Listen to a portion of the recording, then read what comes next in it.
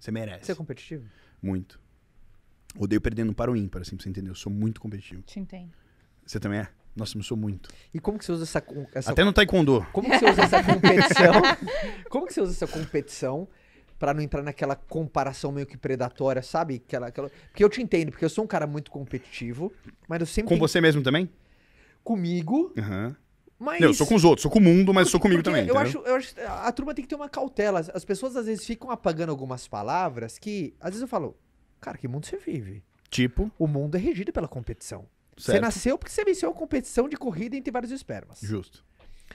Uma, um processo de seleção numa empresa é comparação entre pessoas. Certo. Um vestibular é comparação de nota. Certo. Um atleta é comparação de tempo. Então a comparação é uma Bela realidade. analogia, viu, meu amigo? É uma- Bela analogia, uma- é, verdade. É uma, é uma- Faz o, sentido. O consumidor, uma comparação de qualidade versus Preço. comparação de preço. Aham. É um, sabe, é uma matriz de A comparações. vida é uma competição. A vida é uma competição Pior entre frase que tem aspas. aquela, ah, o importante é participar.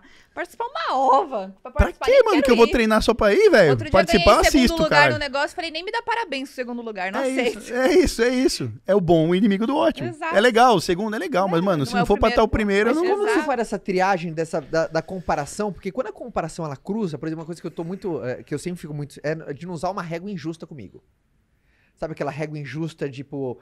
Puta, a pessoa tem muito mais quilometragem, cara. Mas aí é o ponto. Você nunca pode medir o teu sucesso com a regra do outro. É isso. Esse é cara isso. estudou num outro lugar que não foi o mesmo de É você. Ele isso. nasceu de um ponto, você saiu de outro. E às vezes ele tem E- limita- eu tenho limitações que ele não tem, ou e vice-versa. vice-versa. Mas Acabou. eu acho é o interessante disso é de você ver que foi feito. E que pode ser feito.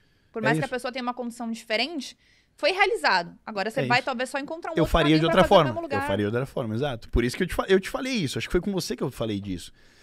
Dizendo que o não sei te leva pra vários lugares mais interessantes do que eu já sei, É verdade. né? Sim. Você- Foi o que você falou. Cara, eu sei como fazer essa caneca. E você também sabe, mas eu não vou falar pra você se você perguntar, sabe fazer? Eu vou falar, eu vou falar, sei, mas me conta como você faz. Porque eu posso aprender uma forma diferente de fazer a mesma coisa. Uma forma mais rápida, uma eu forma posso- que agregue posso pro meu jeito. adicionar um milímetro que você me ensinou É isso. nos centímetros que eu já sei. É isso, é isso. E é, e é detalhe, né? É esse milímetro que te vai fazer vencer a competição. É essa vírgula que vai te fazer vencer a competição, entendeu? É o sim que você fala pra um aprendizado hoje que te deixa um metro à frente do cara que na hora de cruzar a linha de chegada. Pra alguém que tá